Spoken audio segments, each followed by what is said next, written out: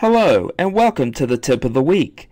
This week's topic is make files in Google Drive available offline. If you work in the field or away from your home office, you may need to access your Google Drive files even though you are off of the network. Google has created a way to do this called offline files. An offline file is a copy of a network file that is stored locally. This data is synced with the data on the cloud or network server when the user reconnects to the network. Let's look at how to set up offline files in Google Drive. Open Google Chrome and go to drive.google.com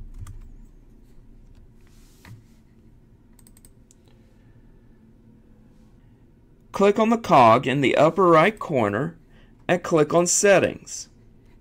Scroll down to the Offline section and put a check to the left of Create, Open, and Edit your recent Google Docs, Sheets, and Slides files. Beside of Settings, there is a back arrow in the upper left corner.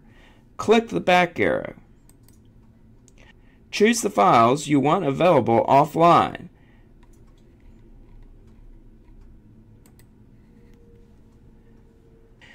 Click the three vertical dots to the right and then click Make Available Offline. Do you have questions about using Google Workspace? There are several resources available. The links and contact information are listed here.